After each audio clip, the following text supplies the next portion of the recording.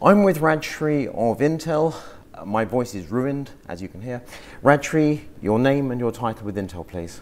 Um, uh, absolutely. Hi, my name is Rajshree Chabukswar. I am with Intel Client Computing Group. I'm an Intel Fellow working on um, hardware software co design and uh, developing technologies, helping develop technologies like Thread Director. And we're recording this at the end of August in Malaysia, uh, under India for a few weeks until the big Meteor Lake announcements. 3D performance hybrid architecture was my main note to myself. Sure. So um, the reason why we call it 3D hybrid architecture with Meteor Lake is because, as you saw, we have um, three hierarchies of cores. The compute tile has P and E cores, and there are low power E cores on the SoC tile. All of them, even though microarchitecture is the same, uh, the design considerations and the uh, design objectives of these two different E cores are uh, completely different, right? So, so just to cut in briefly, because this is the new part. So where Alder Lake and Raptor Lake introduced the hybrid architecture, and we had E cores and P cores, we now have another pair of ultra low E cores. So instead of having distribution between two types of core, we've got three, three hierarchies of core, uh, but even the, though the core but the types are two low power, low power, and ultra low power are the same architecture. So you've got a whole bag of tricks to play with. Absolutely, and uh, that's why we call it 3D Mm. uh, architecture, right? Because we get uh, different dimensions Mm. to meet power objectives and performance objectives as well. And you referred to Thread Director as a hinting system. So how does Thread Director interact with the OS and the applications? Thread Director is a mechanism that sits in hardware, right? Uh, it's part of our hardware offering, and uh, what it is is um, there are two portions of it. One is the classification, instruction classification portion, which basically says that what work is executing on cores, and when that work is executing, what type of work is it, right? And we put it in four categories: class 0, 1, 2, and 3. And this is based on, uh, as an example, class 0 is a scalar type of instruction where we have same um, performance, uh, relative performance, which is IPC, instructions per cycle between P and E cores. And then we have um, other classes where P cores are more performant, and we indicate that to the operating system. The second part of it is a table that sits in memory space. When the system is booted as a hybrid system, um, you know, uh, like a 3D hybrid system, or even older uh, generations that we have, operating system initializes that space in memory and then hardware fills information in there. And it says that if you are running class 0 type of work here is a most performant core to run on and here is a most efficient core to run on so hardware populates all the information that os can use and then os reads that information and combines it with its own goodness right? So os knows priority it knows quality of service it knows foreground background whether the system is running on ac or dc different power plans etc and then it decides to act on that information based on what we provide to them right it combines that all of So that the, the decision comes down to the OS. The decision Thread comes down to is the- just giving it some help. Uh, thread director gives it help from the stats that are visible to hardware only that os otherwise would not have any access to so thread director augments information uh, to make it uh, more intelligent from os's perspective And h- how rapidly can the OS move tasks around the cores? That's an excellent question. So, one thing we worked with uh, our OS vendors early on also is even though this information is available um, at a very uh, low granularity, uh, OS consumes it based on when it thinks it's appropriate to do that, right? Okay. So, for example, um, when a thread context switch happens, it can decide at that time that hey, I want to consume this information because I'm anyway moving thread from one core to another, right? But um, it's not something that we provide a hint and OS stops everything that it's doing and it moves the thread because there are trade-offs with that, right? If you move threads too much around different cores, and as with any other context switch, there is a penalty associated with it. So we don't want to do it too frequently. Right? So operating system chooses the cadence. We provide the information to them. Operating system chooses the cadence based on uh, the um, uh, you know quantum end or uh, next uh, uh, context switch and then uh, they use this uh, extra information that we provide. And when you're referring to a cadence and quickly or too quickly, are you talking in terms of milliseconds, seconds, or tens of Oh, seconds? yeah, this is this is in terms of milliseconds uh, Okay. because uh, seconds is still forever in terms of Yeah. systems, right, and uh, execution and uh, architecture. So definitely in milliseconds, but we don't want to do it too frequently. Like every millisecond, we don't want to move some things, right? So it de- really depends on the thread runtime and uh, when the quantum end happens, etc. So that's where OS consumes that information. And as you're working with Thread Director and you're addressing CPU cores, mm-hmm. do you personally care one way or the other whether you have SMT or hyperthreading on a particular core? Does it just not matter to you? So uh, that's a great question, and uh, if you look at the reason why we kind of introduced hybrid was in terms of multi-threaded scalability, mm. right, to get the performance. But there are lots of tasks or uh, applications that are out there which are limited threaded. Mm. And if you look at um, uh, the benefit that they get, because our e-cores are not really uh, any low perf- like too much low performance mm. or anything right they are very decent cores they give g- good performance in themselves so if you look at most of the applications that run out there instead of scheduling it on the hyper-threaded sibling uh, if you are multi uh, limited threaded application mm. we always see that there is um, a good benefit that we first use all the physical cores then the e-cores and lastly the hyper-threaded Okay. Right, and um, uh, this hierarchy uh, and um, uh, the awareness is already part of uh, Windows 11 that was introduced with Alder Lake. Yes. Right. So uh, we do use hyper-threaded core, but to maximize the benefit, we use it last because you are going to get more out of using the um, e-cores than what you are going to get out of using hyper-threaded cores. Okay. One of my notes to myself when you were talking earlier, I was wondering if in generations to come, for example, a processor has 96 E cores, for example, would there be a stage potentially where you go, great, one task per core, done? Or is it never as straightforward as that? Um, so uh, there is a, uh, I mean, with Alder Lake, uh, we had introduced that, right? There's a uh, kind of the reason why we had E-core is they are area efficient mm. and you get uh, quite a bit of um, multi-threaded throughput uh, in place of having one P core and fitting four E cores there, mm-hmm. uh, etc. Right? That's a rough trade-off that we had, and you get good performance benefit. So for multi-threaded tasks, uh, such as um, rendering and other things that go on in creator segment, absolutely. If we have threads that can take benefit of that many number of E cores, um, they will scale to that, uh, right? Uh, there's no limitation from operating system or anything perspective. we have that in our Xeon product okay. line anyways. Um, and uh, so yeah, I mean uh, that's kind of whole design of scalability from our side. One of the notes I made to myself, and I may have misunderstood what you said earlier, it suggested that because here we're talking about mobile rather than desktop, that my own note says the power budget might make an E core better choice than a throttled P core you know, as if the P core hasn't got as much power as like. So how does that work? Yeah. So uh, that's an excellent question. And what happens is within a SoC, the entire chip that we have, right? We have one power limit uh, that is set, right? Mm-hmm. Um, and then our internal algorithms figure out that hey, NPU is active or GPU is active, and they need something. NPU being the AI tile. Yes. Within the processor. The internal power management algorithm do that division. Okay. Now, uh, what happens is um, uh, within that division, we may uh, see that because you know we have to deliver on graphics and AI and other things, you get sometimes lesser power budget to CPUs, right?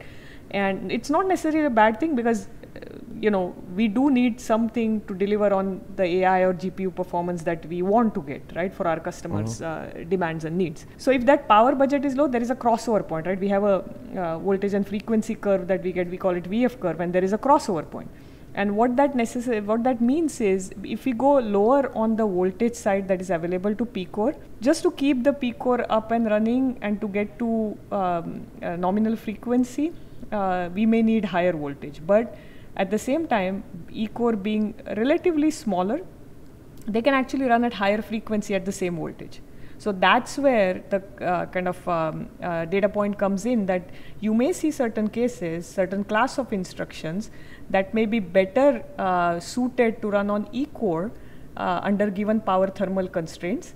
And thread director will give that feedback to operating system because um, this is already accounted for in the thread director logic. So, so Thread Director is not just looking at each processor, uh, each um, core, as one, two, three, four, five, six. It's also how it's functioning depending on the resources it has available and the exactly the power budget and the thermal consideration and everything that is available to the core complex. It looks at all of that.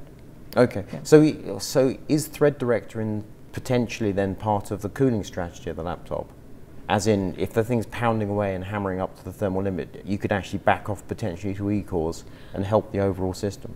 So um, it doesn't know about fan uh, Okay. uh, and things, uh, right? Because uh, if you look at it like fan management technology, a lot of OEM consider that as their proprietary thing, right? They have their own fan controls and uh, all of that.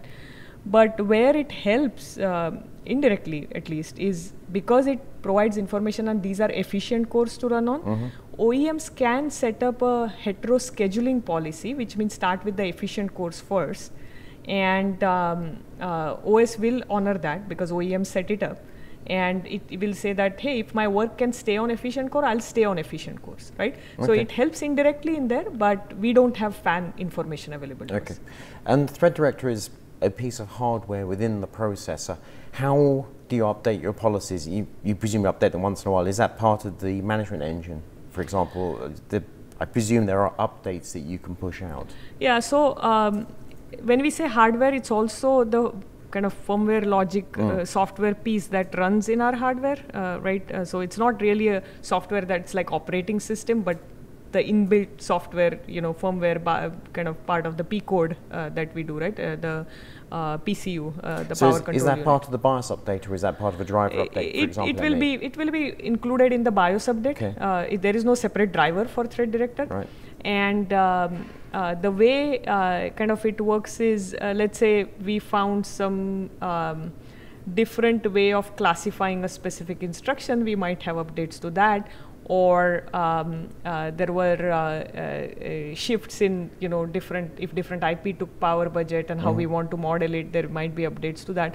We don't do updates as in like every month there won't be any updates to it because the infrastructure is pretty solid but as we have you know more designs coming out like uh, for example for skus right different skus we have uh, our p stack u stack we will have updates between those uh, going on And is the Thread Director in Alder Lake, Raptor Lake, and now Meteor Lake, is that the same thing?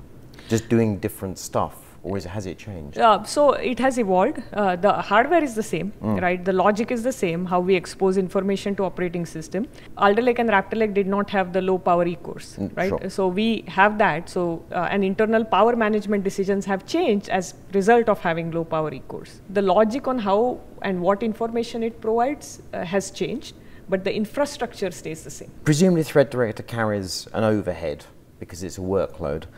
Could Microsoft change Windows sufficiently such that Thread Director became unnecessary? Um, there is no overhead in terms of because see all of this classification and everything that happens in hardware, right? Hardware has this information already. Core has this performance monitoring unit events and everything. So if it happened in software, I would say that there is overhead associated with it. But since it's happening in hardware and the information is already available, there is no overhead particularly associated with it. In fact, I think from OS vendors' perspective it makes their job easier because they don't have to track all these different performance monitoring unit event figure out am i cache bound what instruction am i running what are the power thermal budget we encapsulate it in one thing and give it to them So Right. the, the polite answer is basically you know your products better than they do. and uh, depending on the power thermal consideration things change which Sure. they don't have a way to react to it right so that that's why it makes sense to put it in hardware and give it as a hint interface to them Okay. so that they can consume the information as they like Can you imagine a scenario where a software writer would actually think it's advantageous to that company to write inferior code such that Thread Director says, no, this needs a P core? So they actually essentially manage to escalate themselves from E cores to P cores? Or is that just garbage? So, uh, from software developers' perspective, uh, Thread Director is kind of hidden as part of the OS itself, right? The, the decision. But, they, but they understand how they, it they understand how that works. So now, where it might not play to their advantage is, is if they did like this one-to-one affinity, right? Mm. They said, "Oh, I have ten threads. Why don't I do this? Thread one runs on core one, thread two runs Mm. on core two. Then, and let's say NPU started, right? Mm. Because some other task started on the system, our power budget reduced, and they may have said that, oh, I'm always going to run on P cores, and now P cores are not performant Mhm. anymore. So they may actually lose performance in that, right? Okay. So um, uh, f- for that reason, having OS and hardware figure out on what's the best uh, combination is in their best interest. Okay. I'm not suggesting software Yeah. vendors would ever consider such a thing. Well, I mean, uh, honestly, like we are seeing the use of affinities going down quite a bit, right? Because people understand that Right. modern hardware kind of takes care of it. You presumably have different policies for mobile and for desktop because for desktop you've essentially got infinite power Mm-hmm. and probably better cooling, whereas for mobile, battery Sure. and limitations on. Is it as simple as saying different policies, therefore you push out different code, uh, but and you're just reordering the priorities, or is that is it far more complicated? Oh, it's already done. Uh, Yeah. So from our perspective, as I was saying, right, uh, for every core, we expose two type of information to OS. One is what is the most performant core and what is the most efficient core. Because in hardware, while at runtime, we don't know whether somebody is going to run this piece of software on desktop or mobile or AC or wall powered. We don't know that, right? Okay. So we provide all the information to OS. Now OS and OEMs uh, and OEMs have uh, control over this via the processor power management um, settings that Microsoft exposes them the infrastructure that they can say that hey I want to use um, hetero scheduling policy which means that start from the most efficient core and then expand out. Or I want to use standard scheduling policy which means start from the performance core and then uh, go down the stack. So uh, because they have this knob an operating system via thread director knows which is performant core and which is efficient core all the infrastructure is available to them. So if OEM says that I want to use hetero then they'll start from the uh, e cores and expand out if they say I want standard, they'll start from P core and expand it out. We don't need to make any changes to any information we publish. This is all available to operating system already.